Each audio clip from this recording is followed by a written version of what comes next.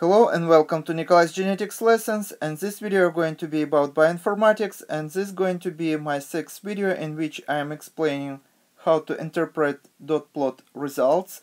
And uh, I already made videos about uh, what you can see on the pictures A, E, B, F, G, H and uh, D. But uh, today I'm also going to talk about picture D because here we have insertion and inversion and today I'm going to uh, explain how to interpret classical inversion. So we, so the picture would be different but we're still talking about inversions and uh, you can uh, oftenly see such picture as this one. So how we can interpret such picture like this. And this is example of the classical inversion. So let me clean a space here. And imagine that we have situation when we have uh, one fragment that goes in this direction. Then we have another fragment that goes in the same direction.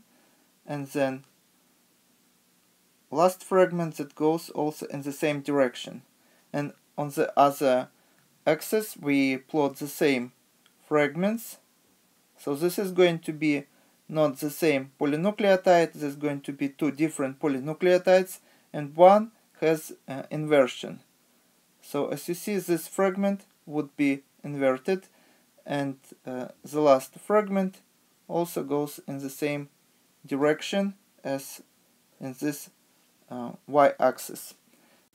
So imagine that here we will have uh, A, B and C, D, E and F, and G, H and I. And on the other strand, respectively, we have A, B, C and next fragment as you see would be inverted. So D would be here. So D E and F. And next fragment would be in the same direction as on this axis. So this is going to be G H I. So now we build a matrix. I will speed up uh, video and here is our finished matrix. So let's start plotting. And uh, here we have A and A here. So that means we put a dot here. So we have a dot here. We have a dot in this cell.